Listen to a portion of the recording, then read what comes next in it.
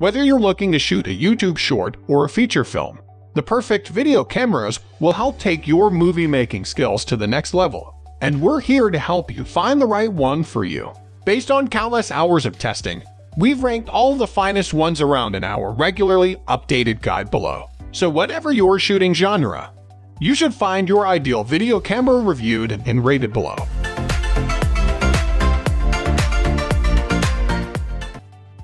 Fujifilm X-T4 APS-C sensors might hold less of a cachet than their larger full-frame cousins, but the image quality of Fujifilm's X-series cameras is proof positive that they can more than deliver the goods, and in a more compact, lightweight body than most full-frame models too. For us, the X-T4 is not only the best X-series model, but the best APS-C camera on the market.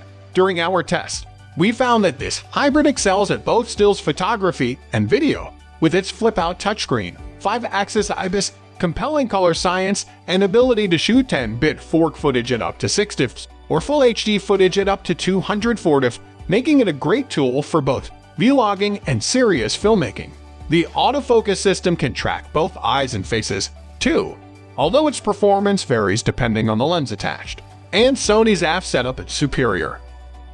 Sony a7's Ronin 3 The most video-focused of all Sony's A-series cameras, the Sony a7's EI's back illuminated full-frame sensor delivers best in class 4K video in low-light situations, with 15 stops of dynamic range and an expandable ISO of 40 to 409,600, not to mention an effective in-body image stabilization system.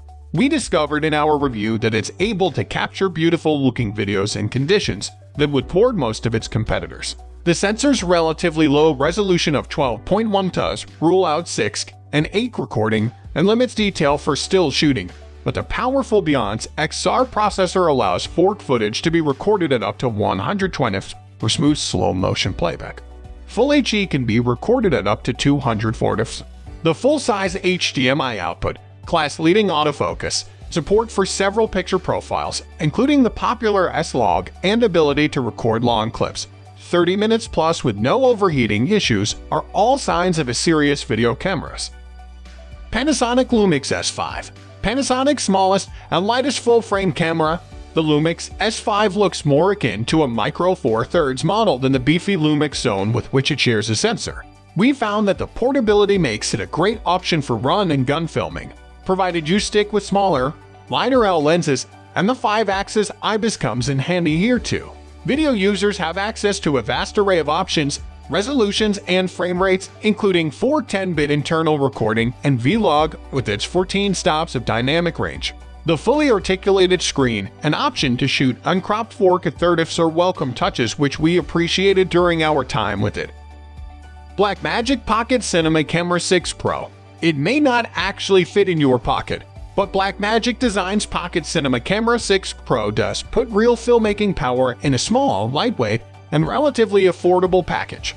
We found in our review that you shouldn't expect the luxurious quality of life features you'd get with a mirrorless model from one of the big names. There's no IBIS here, the autofocus moves like treacle. Forget about tracking AF, and stills capabilities are essentially non-existent. The viewfinder is an optional add-on. That's because everything's been stripped back in favor of pro quality performance and because the camera is aimed at people who make films and have the necessary gear or know how to capture steady shots and pull focus properly. Panasonic Lumix GH6 Panasonic's GH6 puts the Micro Four Thirds format back on top for filmmakers and amateur videographers, offering a massive array of color profiles, resolutions, frame rates, and 10-bit video modes, there's an incredible level of creative potential available from the GH6, especially as there are no recording limits even when recording in 5.7 at 6 diffs. Full-frame sensors might perform better in low light, but the more compact Micro Four Thirds setup allows the Panasonic GH6 to be smaller, lighter, and more affordable than its bigger siblings. The smaller sensor can also be stabilized more effectively. We love the thoughtful design, superb handling, and a rugged magnesium alloy frame, all of which means the GH6 shapes up as a compelling option for videographers. Panasonic Lumix Zone, the smallest, cheapest camera to be approved by Netflix for its original productions. The Zone is a hugely powerful full-frame model designed for demanding creators. While it can't match the Sony a7's Roman 3 for frame rate, it can record at 6 resolution at 24 as well as 4 cut up to 6 stiffs, giving it the edge when it comes to sheer detail. In Panasonic's V-Log or V-Gamut picture profiles, the Sony delivers 14 stops of dynamic range, while its All-I mode results in a staggering 400 bitrate. Our test showed that the dual native ISO and large sensor size makes low light shooting a breeze, although the Sony a7's Roman 3 maintains an edge here. There's superb in body image stabilization to help out when shooting handheld, but do be aware that the Sony is larger and heavier than many of its contemporaries, so long handheld sessions aren't advised. Autofocus is a mixed bag. In good lighting the depth from defocus, the FD system works well, but in dimmer conditions it feels a little slow. Still, if you can live with its minor quirks, the Sony is capable of producing stunningly sharp and detail-rich footage. While the very best, cutting-edge video cameras will inevitably cost a lot of money.